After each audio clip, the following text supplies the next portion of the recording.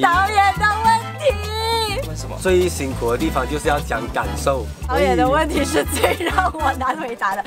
这一次的 interview 是比我以往的 interview 是比较奇怪的。今天我们。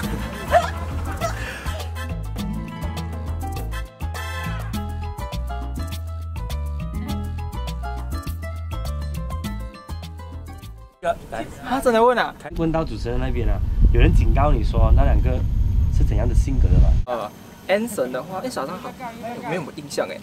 好像在摇哎，这个，好像很大风这样子哎。噔噔噔噔噔，沧海一声笑。就说 k a s e y 好像看起来人美美，其实他他实际上是很疯的。哎，好好，你那个不应该。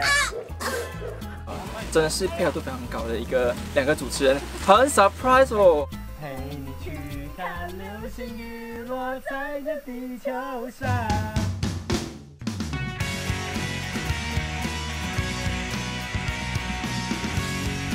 呃，这次跟阿翔合作也是很开心的，因为我不是很认识他，我只知道他是一个比较有距离的人。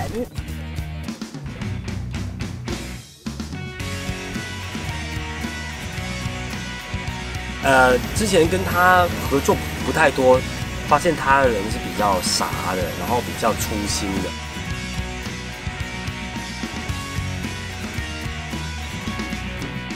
那这一次可以跟他合作，呃，有一种觉得哎，他很棒哎，我就觉得有些东西他做的很好，而且就就就有欣赏他的感觉了。然后他能够照顾自己，就你可能也会照顾别人。他没有利用他呃外表的一些优势了，然后去得到一些方便，我觉得这个是令我蛮第一眼睛的。拜拜，再见。我们有缘再见。希望没有缘分哦。怎么你这样子的？Go。我要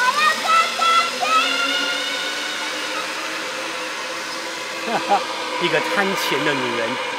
女人都是拜金的，呸！